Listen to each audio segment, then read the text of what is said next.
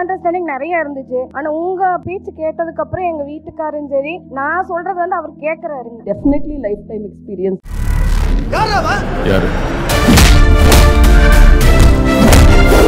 பேரு ஜீவா கபடி பிளேயரா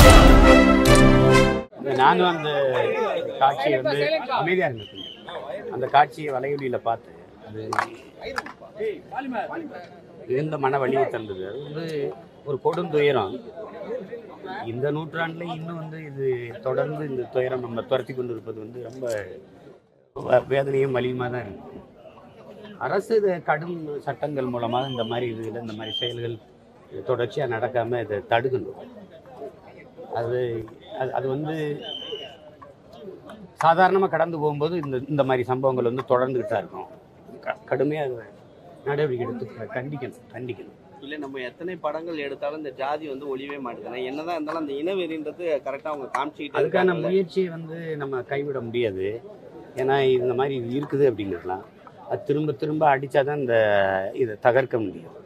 இப்போ ஏன்னா இது வந்து பன்னெடுங்காலமாக இந்த துயரம் இருக்குது இந்த கொடுமை இருக்குது. அதனால் நம்ம முன்னோர்கள் அன்றிலிருந்தே இதுக்கு எதிராக பாடியிருக்காங்க போராடி இருக்கிறாங்க அப்போ அந்த அது வந்து தொடர்ந்து போராடி போராடி தான் இதை தகர்க்கணும்.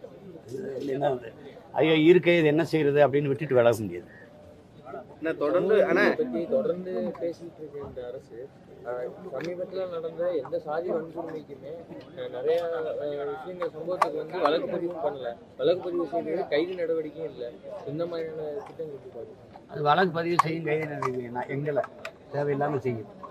அதாவது உங்களுக்கு பாருங்க நீதிக்கேசை இளங்கோவன் அவர்கள் வந்து ஏ- ஒரு உங்களுக்கு தெரியும் இந்த தமிழ் இனத்தின் வந்து மிக பெருமை மிக ஒரு இசை அடையாளம் வந்து இளையராஜா. அவர்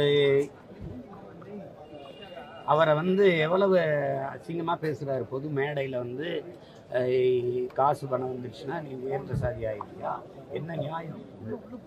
தபேலா வாசிக்கிறெல்லாம் இசைஞானியா? எண்பது வயசு ஆயிடுச்சு நீ இளைய ராஜாவா அப்படின்னா அதே வயசு தான் இவருக்கு ஆகுது. நீங்கள் ஏன் இளங்கவன் பேர் வச்சுக்க கிளங்கவன் வச்சுக்கோங்கன்னா அவர் மேலே எந்த வன்கொடுமை வழக்கும் பாயிலையே அவர் மேலே ஒரு சின்ன நடவடிக்கையில் ஒரு கண்டனமே இல்லையே. ஒரு பொது மேடையில் ஒரு அரசியல் தலைவராக இருந்தவர் இருக்கிறவர் பெரியாரின் பேரன்னு பெருமையாக சொல்லிக்கிட்டு இப்படி பேசுறதுக்கு என்ன நடவடிக்கை இருந்திருக்கு இன்னைக்கு வரைக்கும் வேங்கவே இல்லை. எந்த நடவடிக்கை இல்லையே. உலகம் பூரா சுற்றி அந்த குற்றவாளியை தேடுறீங்களா? ஒரு ஊர் தானே. ஒரு ஊருக்குள்ளே எத்தனை குடும்பம் இருந்த போது அது எவங்க அந்த மனித கழிவு எங்கே கரைச்சான்னு ஒரு அது அது ஒரு இது இல்லையே. அப்போ அதை இந்த- சாதி சாதியை ஏற்றதாழ்வற்ற ஒரு சமத்துவ சமூகத்தை நிறுவத்தான் இத்தனை ஆண்டுகள் நம்ம முன்னோர்கள் போராடினாங்க அப்போ அதுக்கு அதுக்கு என்ன முயற்சி சமூக நீதி பேசிய இந்த சமூக நீதியின் காவலர்கள் என்ன முயற்சி இப்போ நேற்று சொல்கிறார் பாருங்க அவசர ஊர்தியிலே போய் தாக்கி சாதி பேரை சொல்லி தாக்குறது. அவங்க கட்சிக்காரரே கோயிலுக்குள்ள ஒரு தாழ்த்தப்பட்ட பிள்ளை பிள்ளை போயிட்டாங்கிறது என்ன பேச்சு பேசுகிறார் பெற்ற தாய்க்கு முன்னாடி அதெல்லாம் என்ன நடக்குது? அவங்க மேலெல்லாம் பாயலை வன்கொடுமை வழக்கு.